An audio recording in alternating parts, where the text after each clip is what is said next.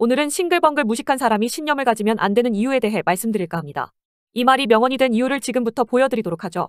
정신 나간 여자들만 사용한다는 트위터에 차 타면 있는 목받침은 머리받침이 아니다라는 글이 올라옵니다. 난 당연히 머리받침으로 생각했는데 생산할 때 남성 기준으로 생산돼서 여자만 목받침으로 못 쓰고 머리받침으로 쓰는 중이다.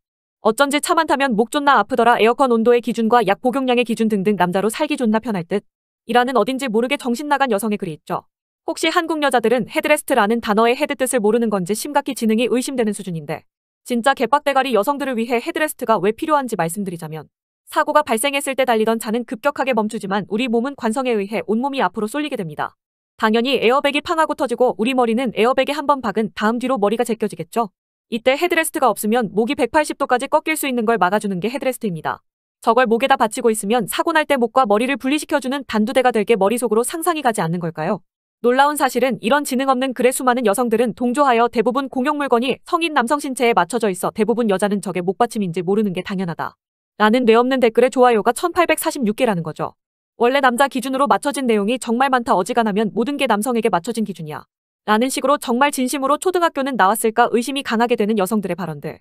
머리가 멍청하고 무식하면 입을 다물고 있으면 되는데 안타깝게도 신념까지 있어버리면 이런 현상이 발생하는 겁니다. 헤드레스트가 사실은 neck rest였고 사고 시 인간의 몸과 머리를 절단시켜주는 단두대였다는 놀라운 한국 여자식 발언들. 남성들에게 저런 말을 했으면 팩트체크로 인해서 가루가 되도록 까였을 건데 우리 여성들은 그런 거 없이 그냥 무식하게 믿는 모습을 보이죠.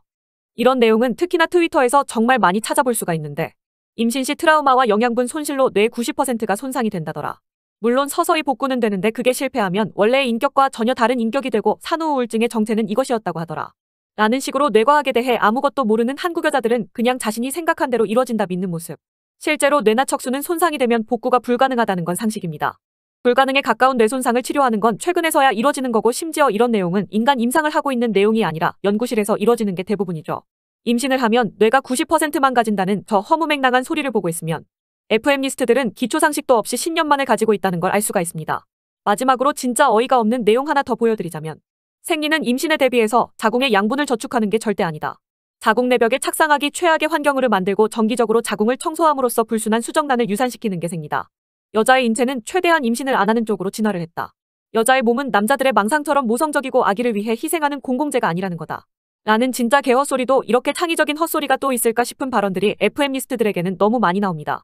그리고 이 한국 여자는 분명 최근 연구에 의하면 이라는 말을 했지만 자세히 알고 싶어서 관련 문헌을 알려달라는 말을 하자 관련 논문을 찾지 못하겠다는 소리를 하면서 자신의 뇌내망상이었다는 걸 숨기려 애쓰는 모습까지 보이고 있죠. 여러분 무식한 건 죄가 아닙니다.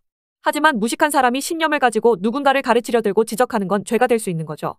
부디 우리 한국 FM리스트 여러분들은 지능을 가지고 살아가시길 바랍니다. 피해의식에 사로잡혀 세상을 고깝게 보지 말고 과학과 기싸움하지 않길 바랄 뿐이죠. 영상 여기서 마칩니다. 여러분의 구독과 좋아요는 은희가 영상 만들 때 마시는 커피값에 커다란 도움이 된답니다. 오늘의 한 줄 요약. 무식한 사람이 신념을 가지면 무섭습니다.